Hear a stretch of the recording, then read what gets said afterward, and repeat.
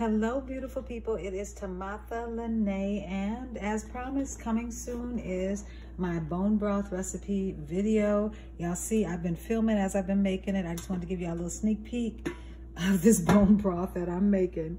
So um, it's here. It's been, this is the second day. I got my chicken feet in there. I got my chicken backs and bones, all organic, um, hormone free but I'm making that, that bone broth. It ends up being so full of like collagen and so many things that are great for your for your overall skin, hair, nails, and teeth. That's what's really helped me with my teeth health and my gums and stuff like that.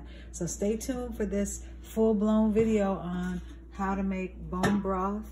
It's really an easy, simple thing, but you just gotta be patient. I'm Timotha Lanae. Make sure to subscribe, like, and share. Take care.